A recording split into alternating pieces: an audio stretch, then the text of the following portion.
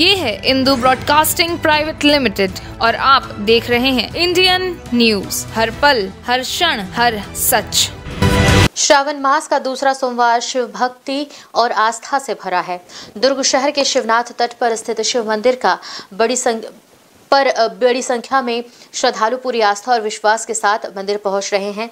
कई भक्त नदी में स्नान करने के बाद मंदिर पहुंचकर भगवान भोलेनाथ का दर्शन भी कर रहे हैं।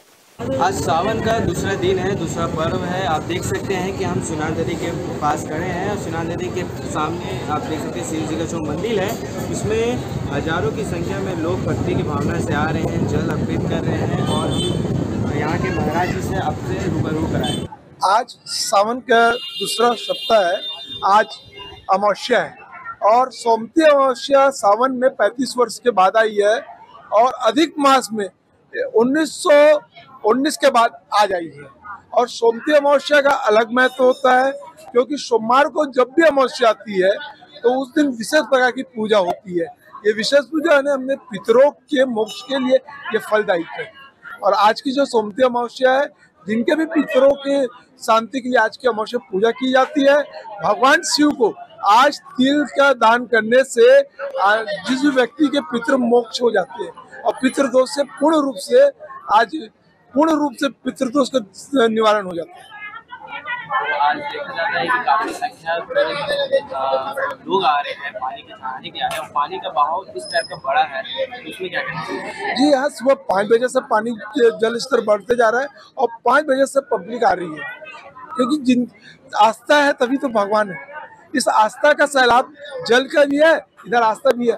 नाम तो शिवनाथ है इसलिए आस्था के सैलाब में लोगों के सैलाब उमड़ पड़ा है। पंडित शिशु प्रताप शुक्ला।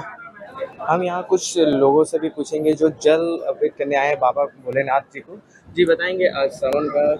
देवादिदेव महादेव का ये महापर्व सावन का।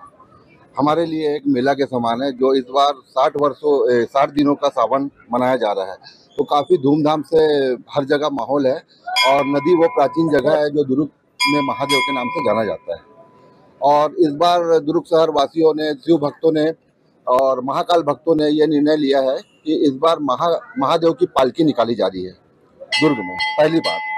अब उसकी तैयारी में सब लगे हुए हैं हमारे शिव भक्त भाई लोग और हम सब मिल के चाहते हैं कि उज्जैन महाकाल में जो माहौल आता है वो माहौल दुर्ग में बाबा महाकाल की पालकी में रहेगा इस वर्ष किस संख्या में जो रैली निकाला जा भव्य संख्या में शिव भक्त पालकी यात्रा में निकलेंगे और विशेष उज्जैन की जो महाकाल की धुन का प्रयोग करेंगे और वो रैली निकलेगी हमारी समझ लो महाकाल की पालकी निकलेगी अग्रसेन चौक से, ये पटेल चौक तक के भव्यता रहेगी काफ़ी, तैयारी अभी एक महीने पहले से आरंभ हो गई है। एक बैठक उसकी संपन्न हुई है कल। और सारे शिव भक्त मिलके अपने समय के हिसाब से बैठक रख रहे हैं और भव्य आयोजन का उम्मीद रखते हैं। आप इस मंदिर के है या है? मैं दुर्ग में शिव भक्त के नाम से छोटा सा शिवालय है हमारा जहाँ पे हम महाशिवरात्रि बर्फ़ शिवलिंग मनाते हैं। प्रतिवर्ष छः वर्ष हो चुके हैं और जहाँ भी शिव जी का मंदिर है दिवाला है वहाँ जाते रहते हैं सावन पर्व में। देखा जाता है कि हज़ारों की संख्या में डेली यहाँ लोग आ रहे हैं और पानी की बाहर जिस टाइप के पानी बढ़ा हुआ है उसमें क्या कहना चाहेंगे? उसमें यह कहना चाहेंगे कि सावन का पर्व भोले बाबा का है और उन्हीं के तांडव नृत्य करते हैं और उसके वर्षा वर्षा होती है बिजली चमकती है ये सब भोले बाबा का है। जैसे सरकार के दौरान प्रशासन के दौरान अलर्ट जारी किया गया ये पानी के सामने बैरिकेड लगाया गया उसमें क्या कहेंगे? हाँ उसका नियम पालन करेंगे शिव भक्त ऐसा नहीं है कि वो उल्लंघन करेंगे अपनी भक्ति सीमा में रह के होगी लेकिन भक्ति होकर रहेगी। तो आपके समिति के दौरान क्या करेंगे कि जो लोगों की जो सेल्फी खिंचाने के थ्रू में पानी के अंदर खोला जा रहा है उसमें उसके लिए सावधानी बरतनी पड़ेगी क्योंकि जो कुछ है हमारे बैनर पोस्टर जो भी बोल दो महादेव है और उनका सेल्फी उनके हिसाब से हो और अपने जीवन को सुरक्षित रखते हुए वो काम करें। लोगों क्या संदेश देना चाहेंगे?